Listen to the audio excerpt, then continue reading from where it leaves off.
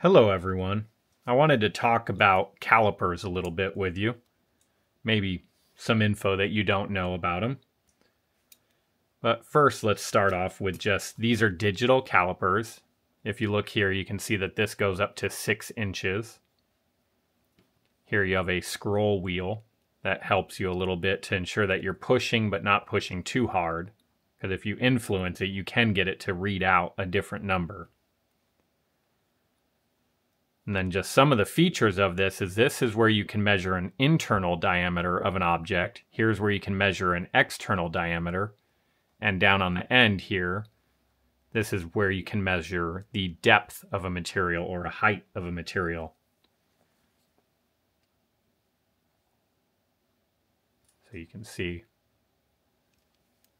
But before you use calipers, you want to really ensure that they're ready to be used. So you can see you want to zero them out. Then you want to look at the tips here to see if there's any chips or nicks in here because that's going to give you a bad reading. Then you want to check these contact faces here and even wipe them to ensure that they're clean. Check these tips here. And if everything looks good, then they should be pretty accurate and ready to use. And these measure generally within a thousandth or two of an inch.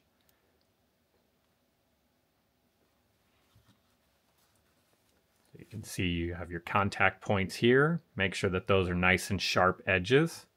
These as well, sharp edges.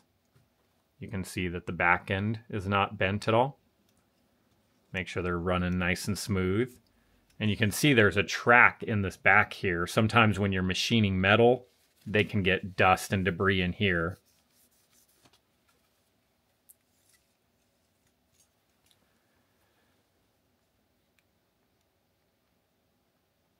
But that's basic functions. You do have a lock screw here.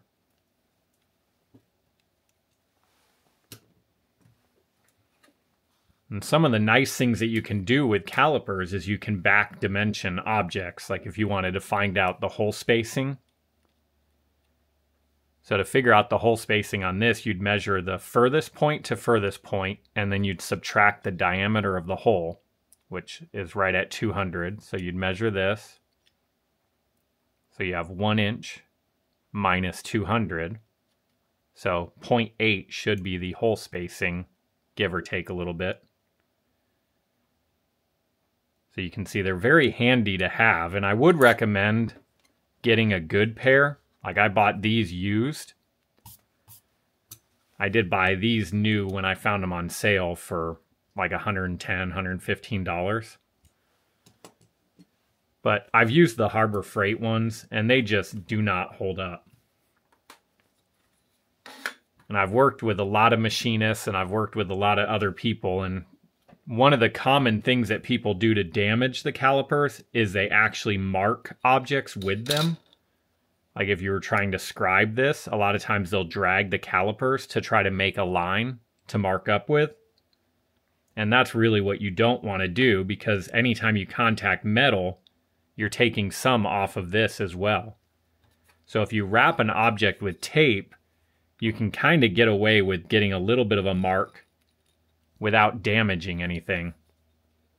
So if you wanted to make a mounting hole on this, you could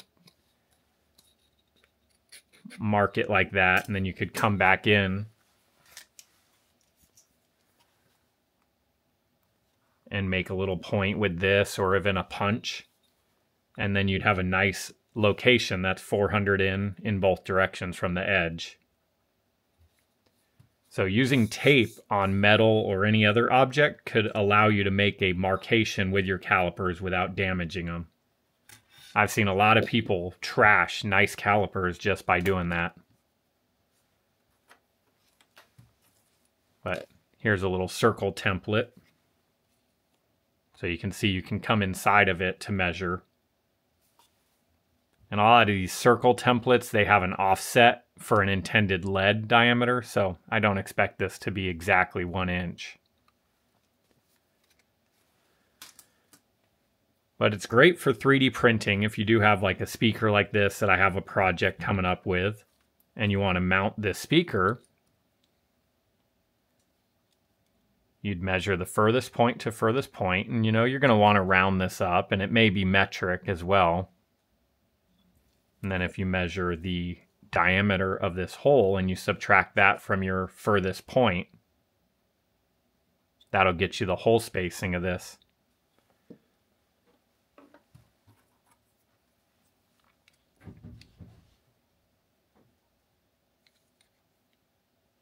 And this is a 3D printed little block that I made.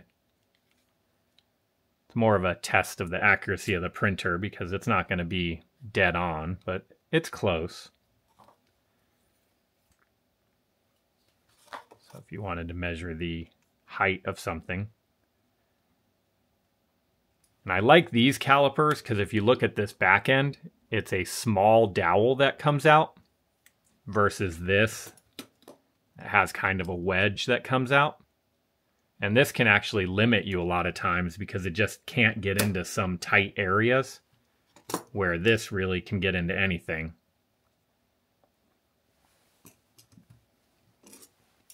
So if you're looking to buy a used set, that's what you really have to look at is these contacts and make sure that all these faces are clean. A lot of times people measure drill bits and the drill bits will chew up this anvil here. And I'm sure there's companies that can reface these and then recalibrate, but there's going to be an added cost with that. So I hope that helps a little bit.